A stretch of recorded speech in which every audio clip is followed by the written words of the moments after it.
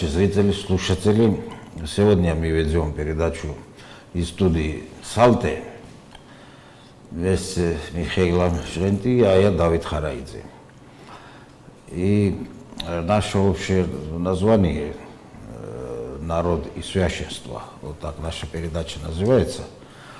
Последние несколько месяцев эту передачу ведем. А сегодня конкретно вот речь идет о, по сути, назовем эту передачу, о все, во всей Грузии проведении службы, церковной службы, к покаянию в братоубийственном грехе. Вот тот самый грех, в который мы верглись в прошлые наши времена, и от которого мы еще не освободились целиком. Может, личностно кто-то исповедовался перед Господом Богом, причастился как следует и освободил свою душу, как-то очистил.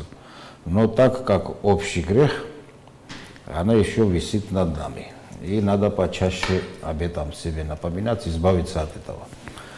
Вот цель, суть нашей передачи вот в чем состоит. Вот почему мы, во-первых, ведем на русском языке, когда обычно мы ведем на грузинском языке. Это сознательно мы ведем на русском языке передачу, чтобы она была понятна для наших собратьев, для наших братьев среди абхазцев, среди осетин и среди русских, вот которым, с которым непосредственно коснулась вот именно это братоубийственный грех, братоубийственная война, в которой мы верглись, и в результате которого вот верглись в этом грехе, братоубийственном. Сам этот грех и это начался вот э, из гражданской войны, который сразу после развала Советского Союза навязали нам нашу государство, нашу республику, Грузию. Сначала была гражданская война, потом э, Абхазская война. Абхазская война, потом Осетинская. И потом Молодец. повторили еще... Все вместе. Да, все вместе и еще и русские уже открыто, открыто поучаствовали в этом и открыто погибли среди русских православных христиан тоже, наши собратья. А так скрытно они участвовали и в первой Абхазской, и первой Осетинской, и, и по гражданской тоже немало участия приняли. Ну, скрытно это все. Вот теперь давайте э, вот, э, изложим так, типа, как тезисы. Вот почему это мы считаем братоубийственной войной, и почему мы считаем, что надо от этого греха освободиться, к чему она мешает, как она мешает нам в жизни, почему это так необходимо, вот почему мы считаем, что это так необходимо. Кто-то может не так считает, кто-то так считает. Вот. В первую очередь э, мы это делаем конечно, для самого себя. И для тех людей, которые мыслят так же, как и мы, которые осознанно, осознанно осознали суть от этого греха и хотим от этого избавиться, освободиться. Почему она считается общим? Общий по-грузински называется саэрто. Саэрто, вот тут корень слова эри, то есть народ если дословный перевод делается. То есть это народные дословные переводы делаются. Народная, потому что она происходила, эта война, от имени народа всего. Это не была частная стичка на уровне вот, внутри семьи или между соседями, просто так, что вот, потому что твой забор чуть-чуть перешел в мой участок или наоборот, или твой огород, вот, или твоя там жена криво посмотрела на мою жену и так далее. Это было именно, э, происходило с таким чувством, что вот э, люди ополчились за защиту своего отечества, своей земли, своей семьи, единства своего и своего сознания, сознания единства и вообще сути вот, грузинской государственности, допустим, скажем так и также поступали и одна сторона, и другая сторона. Чувство было у всех одинаково. То есть намерения были у всех одинаковые. Каждый из наших, из участвующих защищал свое э, честь, свое достоинство, свою суть. Поэтому тут речь не идет о том, что мы как-то определяем, чья правда, чья неправда, об этом речь вообще не идет. Речь идет именно о сути греха, именно о сути протоубийственного греха, именно о сути убийства э, подобия Божия. Мы же созданы, люди, как на подобие Божие, Господь Бог так создал. А теперь скажем, как, почему мы считаем, что мы братья, а не какие-то чужаки, какие-то инородцы или иноземцы. Вот для того, чтобы коротко это описать, вот я просто дам определение, вот кто мы такие. Вот сидящие вот здесь, допустим, в студии, да, мы с тобой. Вот наше общее объединяющее слово, это более древнее слово, я использую, это мы иверцы. По-русски это так звучит. По-грузински это звучит Иберия, иберцы. Это одно и то же. Вот как, например, мы говорим Бизантия, а русские говорят Византия. Вот мы говорим Василий Великий, а русские говорят Василий Великий. То есть часто вместо Б русские используют слово В. И вот получается вот э, такое. А суть тут одно и то же. Вот мы говорим «бери», «вера», а русские говорят «вери», «вера». Это одно и то же. Но объединяющее слово это всегда было Иверия. То есть э, наши племена, от которых мы идем, разные времена назывались по-разному, но потом сложилось так, что после Рождества Христа уже сформировалась сначала духовная Иверия, потом она какое-то время наше государство называлось Иверия наших царей называли иверскими царями во всем мире. А потом титулярники, они назывались уже конкретно по племенам. Вот исходя из этого, вот что а, означает иверские племена. Вот для определения этого, я, например, определяю вот каким образом. Вот кто такие иверские племена? Это иверские племена, это те самые люди, это потомки Яфета и Сема. Почему я начинаю от э, потомков Ноя? Потому что э, потом, это, э, поколение Адама и Евы, многие из них, когда отошли от Бога, Господь Бог наказал потопом. И после потопа осталось только Ноя и его дети. Это Сем, Хам и Яфет – вот мы, иверские племена, говорим, что мы потоки Сема и Яфета. Мы не говорим, что мы потоки Хама. Но никто из нас не говорит, что мы потоки Хама. То есть Хама мы не любим. Да. Хам невоспитанный. Да. Это тот, который осквернил своего отца. Осквернил и из-за этого был проклят про отцом Ноем. То есть те люди, которые оскверняют, сквернословие, любят это дело, осквернять другого, и осквернять тем более своих предков осквернят своих родителей, вот они, безусловно, у них живет огромная частица хама, то есть они никак не могут быть в законе потомками Сема и Яфета. Вот я исхожу из этого. Мы потомки Сема и Яфета, это первое, если потомство у нас идет речь. Потом второе, мы носители того самого языка, который Господь Бог дал, потому что мы как вышли из ковчега Ноя, вот на котором языке говорили Ной, его дети, Сем, Яфет, его потомки там, потом Мещах, Яв, Яван и так далее, чей потомками мы являемся и считаем себя. Вот на том языке мы и говорим. Это основное, первая основа, вторая основа, что нам, мы живем на землю, на которой вышли из ковчега Ноя, то есть мы в основном те самые люди, которые ниоткуда не приехали как нас Господь Бог вывел на этой земле, вот так и живем.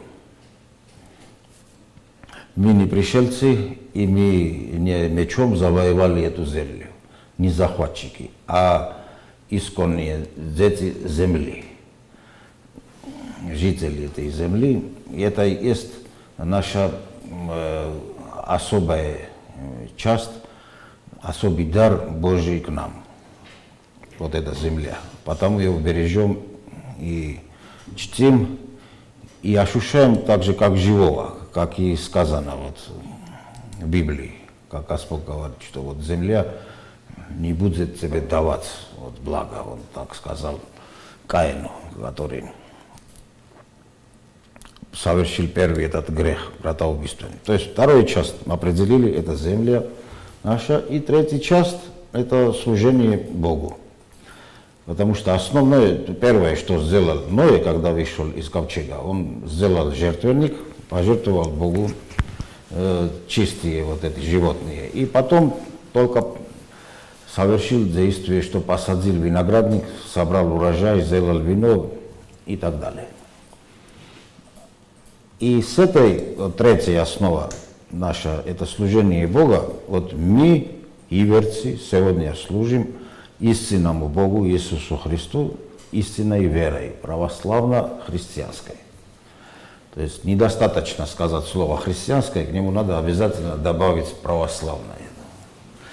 Вот это люди, объединяющие вот разные, раз, из разных разных племен, объединяющие вместе составляют иверский народ. Вот это есть коротко определение иверца. Вот кто такие сегодня иверцы. Если теперь переходить по племенам и вот сказать, вот какие племена входят в эти иверские племена, тут э, я бы вот так перечислил сразу – и потом объясню, почему вот они ходят. Вот для меня вот это так, так учили мои, мои предки, так знаю я и так передам своим детям. Э, так, в этом ходят, э, я скажу, лазы, лазы, мегрели, азы, абхазцы, потом идут месхетинцы. Месхетинцы делятся как джавахи, так и аджарцы, вот сегодняшний день идет также бурийцы, идет также э, сваны. С ваннами можно, вместе можно объединяться тушинцам, они тоже ванахи, ванами называются, ванахи тоже. Идет рачинцы или чхумцы, их тоже я вместе э, ощущаю и знаю. Идет теперь так называемые вот имеретинцы, правда это слово означает им эрети, то есть на той стороне хребта живущие и больше ничего. То есть такое родословие не выделяет. Вот карталинцы, это э, родословие определенное означают. Также идет осетинцы, также идет э, в этом же уриели, также кахетинцы, херец, это вместе для меня. И горные племена, вот пшавы, хевсуры, мохевцы и эрцотианиты. Вот этот, как я сложил, сложилось для меня 12 племен. Вот когда похожие племена вместе объединили. А так, если начать углубляться и по ущельям это расписывать, можно очень много расписаться, но в этом нет никакого смысла. Она формируется, наш народ, иверский народ, формируется как из 12 племен. Точно так же, как было древнеизраильское племя из 12, э, древнеизраильский народ из 12 племен, также мы и сегодня из 12 племен. Вот теперь я еще объясню, э, как вот э, абхазцы, например, как составляют иверский народ, если для кого-то это нужно, как осетины составляют иверский народ, и плюс как уриели составляют иверский народ, и плюс к этому добавлю, как русские тоже составляют иверский народ. Вот это интересно. А, да, э, вот это то, что я вычитал по своей неугомонности. Сейчас поделюсь, я часто делюсь об этом и сейчас тоже поделюсь. Ну, абхазцы, ну, тут, э, я думаю, ни у кого это, наверное, сложность не составляет, что они такие же потомки Мешьяха, сына Яфета, вот как, как и те же самые лазы и Менгрели. Это одно и то же племя. Просто та часть называется абхазцами, а эта часть называется середине мигрельцами, а тот часть, который вообще в Турции осталась, называется лазами. Но это одно и то же. Абсолютно. Для меня это так, я так ощущаю.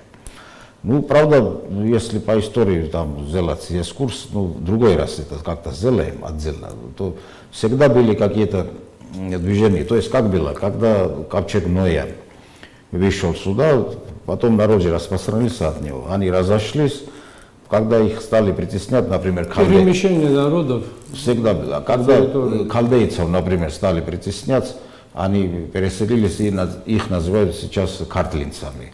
Когда эфиопцев, а, они назывались абиссинами, абсинами, абси. А когда их тоже стали притесняться, они тоже переместились, и абсни их называют. Вот некоторые абхазы себя называют абснами из-за этого. И были вот такие движения. Это нормально, э, ничего страшного в этом, это наоборот. Главное в таком случае, когда кто-то присоединяется к тебе, чтобы он воспринял твой образ жизни и стал таким же, как ты. То есть единым духом. Да. Также вот э, то, что осетины, например, исторически, по-разному они назывались, они назывались, вот а тут написано ужиками, когда-то или усами, оттуда пошла оси, и осетины, вот то же самое.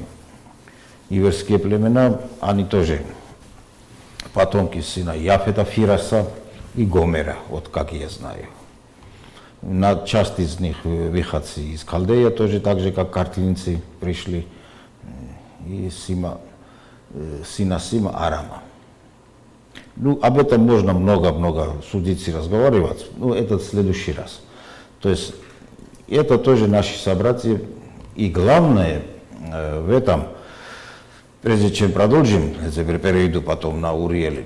Главная э, составляющая, одна из, это созидательность, да, подобие Господу Богу. Как Бог создатель, также мы Творец, Создатель, также мы Творцы и Создатели, подобляемся к Богу.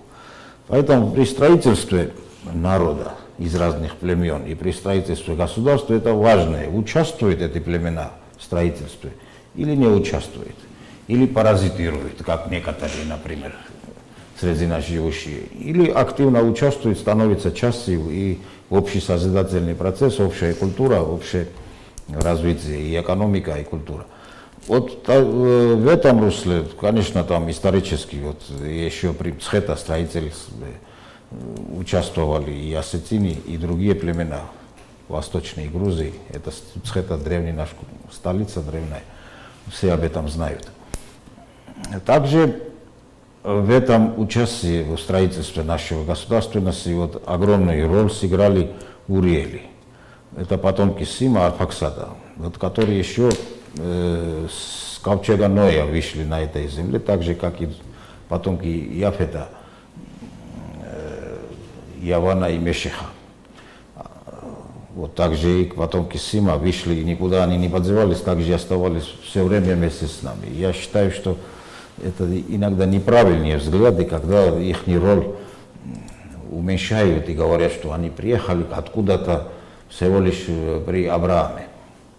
Авраамом, те, которые вместе с Авраамом, потомками Авраама приехали, они принесли название Уриели, потому что Авраам был выходец из города Ур.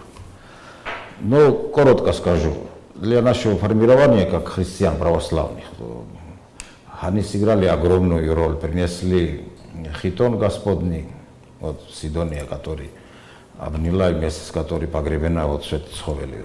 И принесли первое понятие христианства. Именно от них это все пришло.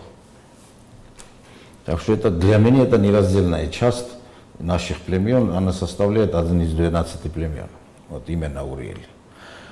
А что касается э, самых славянов и с русских, именно русов. Об этом была такая задача поставлена Екатериной II императрицей, которая захватила насильно власть в России, убила собственного мужа, как гласит история вот, российская, и стала императрицей нему противостояли некоторые люди, поэтому она вот э, захотела это узнать, задала такой вопрос профессору тогдашнему Хайтун Чеботареву, который написал, что э, именно русы на территории России с разных сторон э, мира пришли разные племена, но именно русы это черноморский таврический народ, принадлежащий к особому кавказскому или горскому племени древних лазов. То есть это пишут русские, не мы грузины об этом говорят, сами русские об этом пишут, что они с лазами родственники. Кроме того, вот его расследованиях было такое, что славяне жили в Колхисе или Колхиде, то есть в нынешнем Мингреле и Черкасии. Следовательно, между Черным и Каспийским морем, а не при Адриатическом заливе. Здесь еще до Рождества Христа находим мы сербов, ладзов, дзихов и мосхов. От первых произошли внешние серби, то есть они тоже грузины, или лузаты, то есть сербов раньше лузатами назывались. От вторых, то есть от лазов, ляхи или поляхи, то есть поляки. От третьих, чехи или богемцы, то есть они, получается, тоже наши соплеменники. А от последних, то есть от мосхов, московиты или москвитяне, все единоплеменные народы славянского, то есть происхождения. Вот это тоже пишут русские, это не мы.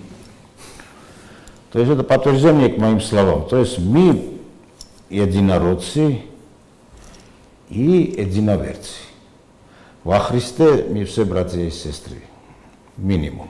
И вообще-то Христос дал причастие для этого, чтобы мы не искали вот особо э, не кичали вот этим происхождением своим, что и чистоту крови вот некоторые вот так, кровные братья, не кровные братья. Если причастился, значит ты кровные братья.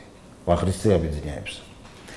Вот на это я сейчас, э, конечно, закончу это дело. И сам грех потом э, скажу, что как мешает этот грех в жизни.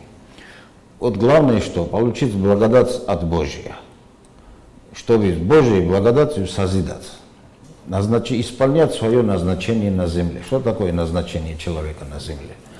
Чтобы жить так, жить достойно. А что такое достоинство? Это жить Божьим законом так, чтобы спастись самому, сохранить свои э,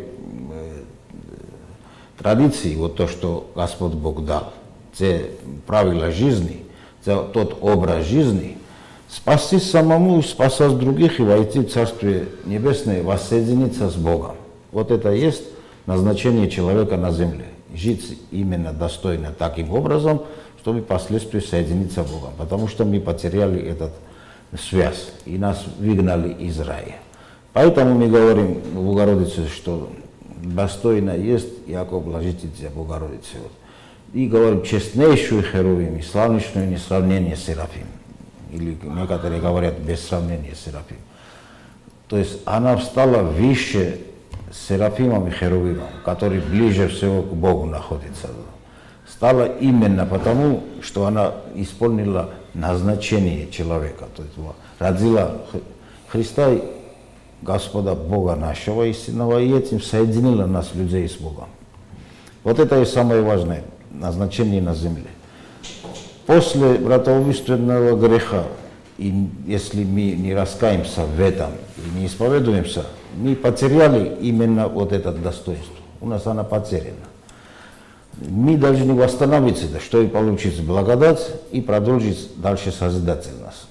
Чтобы нас признали как достойных людей и не навязывали нам э, изменить наш образ жизни, принять чужой образ жизни европезироваться или азиатами стать, или кем-то еще стать. То есть не прямо богоносным народом оставаться, какими мы сейчас являемся, чтобы сердце у нас живет Господь Иисус Христос, а вот принять чужой образ жизни.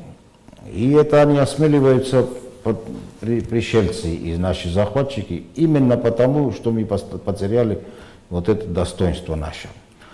Причиной которой стала именно братоубийственная война и братоубийственный грех. Вот от этого мы хотим э, избавиться, покаяться именно в этом, потому что это уже свершившееся э, явление. Она уже свершилась. Мы уже поубивали друг друга. Тут ничего не сделаешь, кроме того, как осознать, что это плохо. Она уже свершившаяся. Мы не можем обратно вернуть время и воскресить вот умерших, погибших в этом страшном деле. Поэтому единственное нам что остается, то, что путь указал Господь Бог, раскаяться в этом, исповедоваться, встать на путь истины и идти дальше. Тут, тут есть вторая часть. Мы не можем в одиночке вот, совершить какие-то действия, ходить гордо, бить в груди и говорить, что вот мы достойные люди. Сами себе хвалить, как вот пословица есть, что лиса свидетелем свой хвост позвал, говорят у нас. Да? Так не получится. Наша честь, чистоту и достоинство должны прислать, признать наши другие соплеменники. Вот мою честь должен признать русский человек, мою честь должен признать тот же самый серб, тот же самый чех, оказывается, поляк, абхаз, осетин. Если они не признают, тогда мои слова всего лишь висит в воздухе. Вот в этом есть суть коротко. Теперь я закончу свое это вступительное длинное слово, немножко удлинился. И давай скажем, Батону Михаил. Приветствую вас, Батона Давид, приветствую уважаемых телезрителей и слушателей. Поздравляю с рождением Иисуса Христа, с Новым годом вас, счастья, здоровья, благополучия, долгих-долгих лет жизни. В первую очередь здоровья, при нынешней ситуации, это самое главное. А остальное, что вы сказали, Батон Давид, абсолютно верно заметили, хороший экскурс был для того, чтобы познать, э, в какой ситуации мы сейчас оказались. Страна уже 30 лет практически находится э, в хаосе, страна находится в непонятной ситуации, и, наверное, уже пора э, подумать о том, почему у нас такая ситуация. Ничего не бывает, ничего не делается, и ничего не... Каждый, каждый человек, и каждый народ, и каждое деяние оставляет свой след. Вот 30 лет прошло уже, 30 лет прошло, как вот началось на, на территории бывшего Советского Союза, в том числе на территории Грузии, те события, о которых мы очень долго говорили, мы уже больше 6 месяцев мы обсуждали это, откуда это пошло, как это случилось, как с нами это случилось. И э, очень многие говорят, что вот очень плохой ситуации оказалась наша страна, бедствуем, голодаем, там работы нету, там ну, серьезные проблемы как в материальном плане, так и морально. И, э, наверное, немногие задумываются о том, почему это случилось так. Не потому, что мы с вами такие умные и гораздо больше думаем об этом, надо задуматься, почему человеком происходит те или иные события, или невзгоды, или болезни, или то, что происходит в семье, или в стране, или в городе. То, что а, когда э, приходишь к врачу, надо диагноз поставить. Чтобы поставить диагноз, надо сказать, какие причины, какие болезни. причины, причины болезни и какие симптомы. симптомы. Вот после этого врач уже может сказать, да, не, не нам, а вообще. И что происходит, как надо это лечить. Бог, я сейчас ничего такого нового не скажу, Бог объединяет, сатана разъединяет. Вот последние 30 лет у нас случилось самый большой, один из больших грехов, который с нами произошло. Всегда говорят, что вот это все начинается уже с 90-х годов. «А никогда не делай другому то, что не пожелаешь себе. Вот мы, когда э, вот 9 апреля случилось, вы сказали, что русские, грузины, абхазцы, это все мы один, из одного корня мы все идем, и практически мы родственные народы и по ментальности, и э, по, по настроению э, сознания, вот так, если можно сказать. Когда с нами вот так поступили, ну, кто поступил, как поступил, от кого было это все, какой, какой период был тогда в Советском Союзе, кто Советским Союзом управлял, об этом мы уже говорили. Но когда с нами так э, сделали, нам же обидно было, нам же стало плохо, мы обиделись. И после этого мы то же самое, то же самое начали вот распространять вот эту ситуацию на наших братьев меньших, вот в кавычках я скажу. И вот это все уже в один комок, когда собрался, мы уже оказались в той ситуации, что э, обратной дороги не осталось. Самая большая, вот, вот возьмем Россию. У кого с Россией самые большие трения, самые большие проблемы? С одновесами, практически с братьями. Украина, мы, э, Молдавия. Молдавия, с белорусами, ну, дай бог, так более-менее нормально идет сейчас, и там тоже они прошлись очень так по лезвию э, бритвы, так, ножа. Так что вот эта ситуация, что вы сказали, нас очень, мы должны подумать, что мы натворили, как мы натворили, когда мы получили вот эту э, независимость, вместо того, чтобы всех собрать в один кулак и э, начать строить новую страну, мы начали политику, что, ну, там, допустим, Грузия без Грузии, там национальность, вот такие, были, были такие э, выступления, что вот Грузии должны жить грузины. Когда на территории Грузии из 5,5 миллионов нас было, где-то 3,5 миллиона было грузин, остальные были вот эти коренные, что вы сказали, жители. Начали покидать страну греки, армяне, начали фамилии менять. Ну, э, после э, обретания независимости, в кавычках я еще говорю, это какая независимость, мы уже сейчас, наверное, чувствуем. Наверное, мы э, неправильно, неправильно стали обращаться с, нами, с нашими братьями. А с нами, надо сказать, русские тоже нехорошо обошлись. Но я с чего начал, что когда с тобой так обращаются, тебе это больно, тебе обидно, ты это не должен делать на других, которые окружают тебя и вместе с которыми ты живешь. Первый, вы правильно сказали, это был, была, сперва был этот, гражданская война, так называемая, 92 год, конец 91-го, начало 92-го. И вот после этого началось уже вот, вот начались те процессы, Абхазская война, потом Осетинская война, потом опять Абхазская, потом Осетинская война. И э, мы э, стали э, перед дилеммой, как жить, как жить. Вот, вот эти два региона для нас, кровные друзья, братья, они от, от, от, оторвали от нас, и у нас нет возможности их вернуть. У нас не то, что возможности нет, у нас возможность нет с ними разговаривать и сказать, чтобы чем мы провинились и в чем они провинились. Не, не бывает, чтобы один, одна сторона всегда права, другие виноваты. Так не бывает. Я так думаю, что надо говорить, надо обязательно. Вот сперва еще раз я хочу вот, заметить, что надо осознать, что случилось. Почему с нами это случилось? В чем мы провинились? На что мы э, наступили, чтобы еще раз, еще раз не наступать на эти грабли, которые гораздо-гораздо больнее будут пить нас по лицу. Понимаете, в чем дело? Вот я с вами абсолютно согласен, что вот это, от этого греха надо освобождаться. освобождение, вы лучше меня знаете, начинается, когда человек думает об осознание. этом. Да, осознание, и ну, человек должен переживать. Человек, человек должен думать, что он натворил и как это исправить. Исправить нельзя ничего. Это уже совершен, совершен факт, это не исправишь.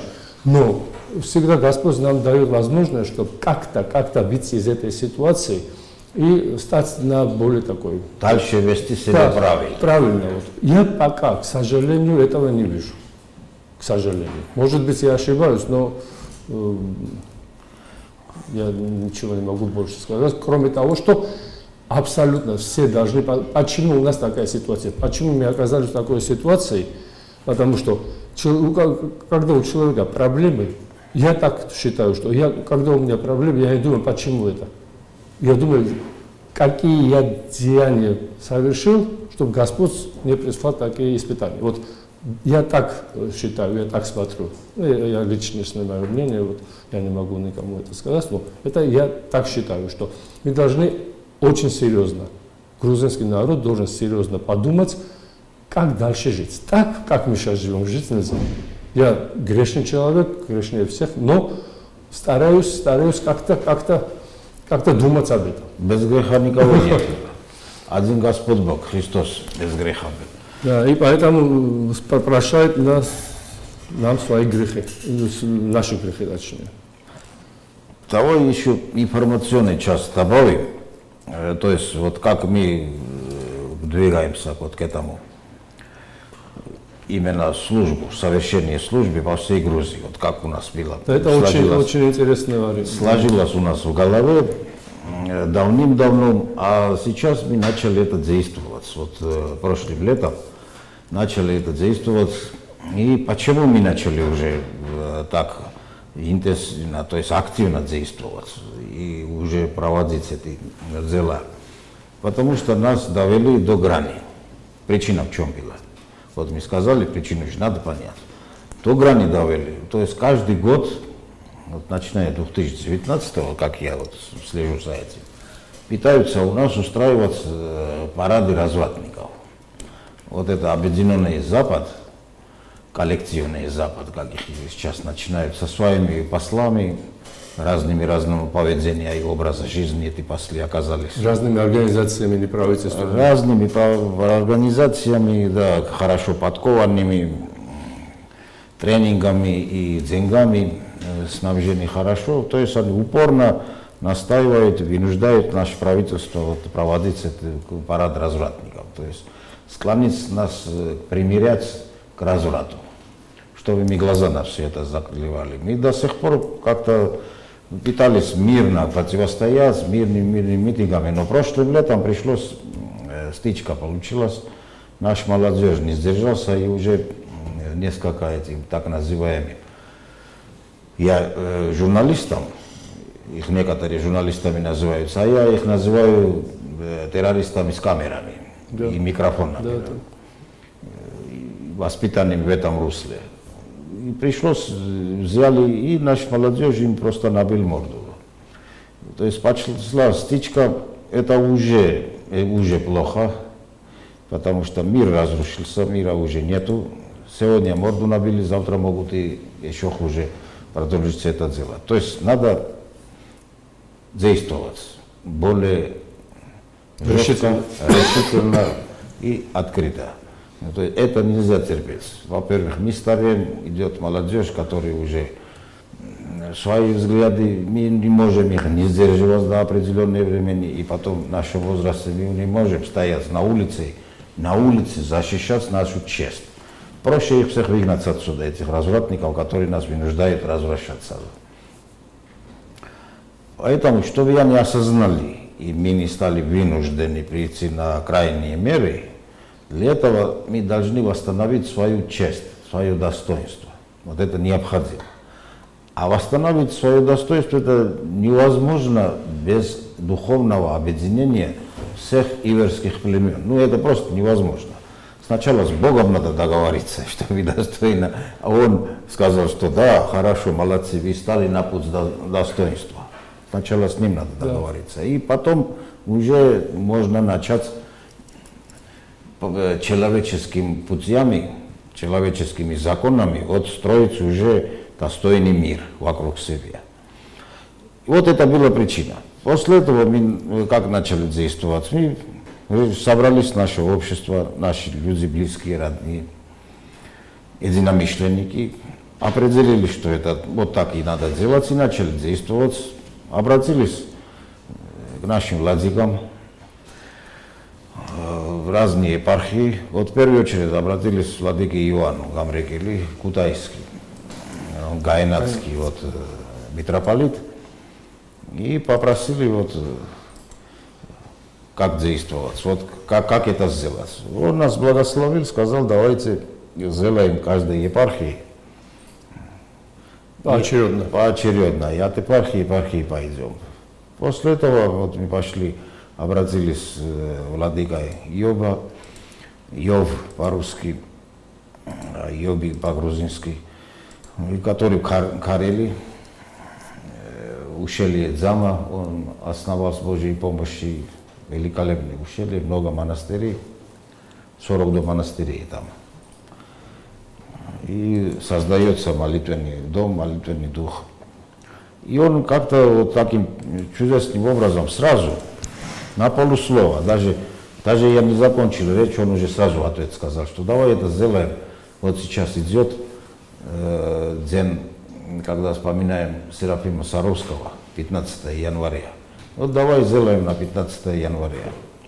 Вот Серафим Саровский, это очень э, знаменитое, вот, святое русское именно для всей Грузии.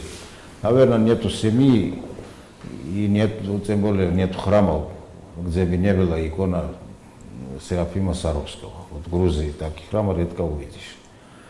Я лично э, вообще считаю, что воспитанник Серафима Саровского. Икону на груди ношу с 93 или 4 года. Вот так купил, захотелось нагрудная икона Богородицы. Купили у него с обратной стороны Серафим Саровский, который стоит на колене и молится. И хочу вот эти э, слова такие, которые впечатлили меня в жизни, э, напомнить нашим слушателям. Вот которые именно э, Серафим Саровский по преданию рассказал Матавилу, Матавилу передал нам, что когда, говорит, после того, когда избили Серафима Саровского, кто знает его историю. Да, Бандиты напали, когда он в лесу жил, в келью отдельно. Он, правда, был сильный очень, физически отбросил этот топор, сказал, делайте, что хотите, они его избили без всяких причин, по напущению. Просто сатана их вот, соблазнил, видимо. И его лечили в монастыре, к нему явилась Богородица с апостолами, с Иоанном Богословом и Петром и указала на него и сказала, все от рода нашего. Для меня это что значит? Что род, род Богородицы. Мы тоже род Богородицы, иверские племена. То есть в этом еще раз подтверждается, что мы э, единородцы и единоверцы.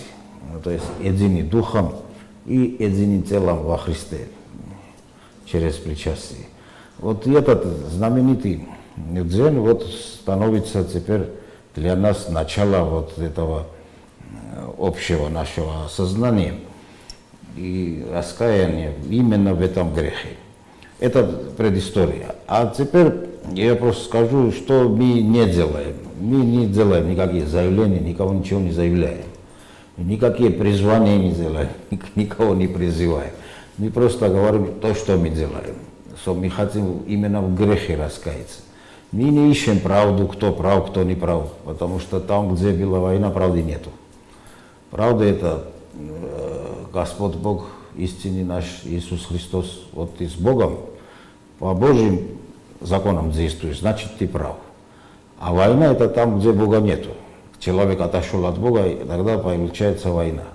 Потому что Господь сказал, что я мирный кроток. То есть Господь, где мир, это Господь Бог. А война это где Бога не захотели мы, чтобы было, не видим его. А там, где не видим Бога, там и нету правды. Там все свою правду имеют, там просто война. И искать правду там, где его нету, это мы не делаем.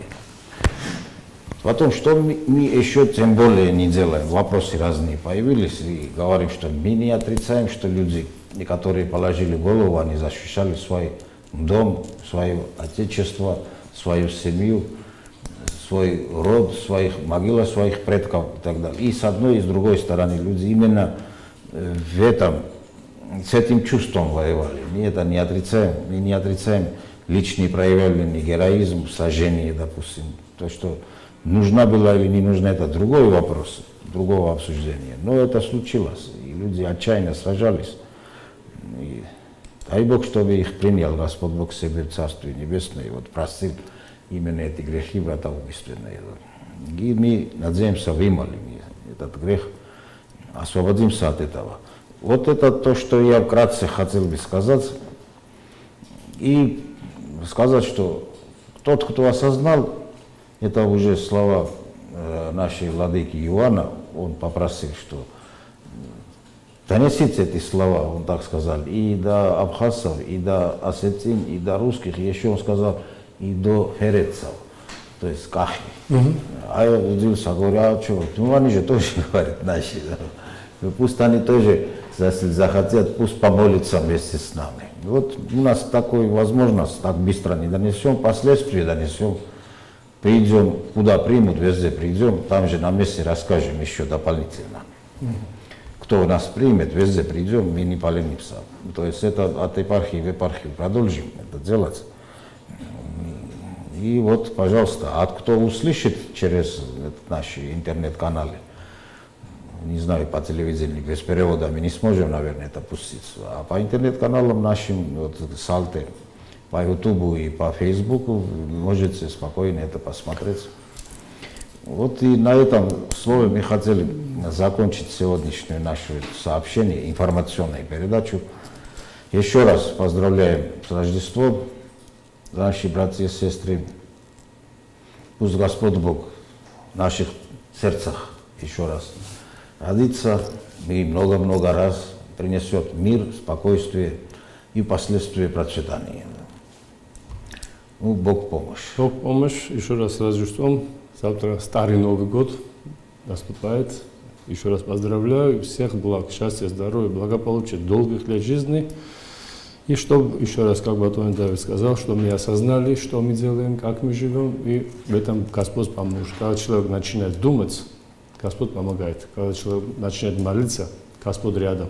И я хочу пожелать вам, Батон Давид, в этом благом деле удачи и Нам Господь, всем. нам всем, да, пусть Господь будет с вами.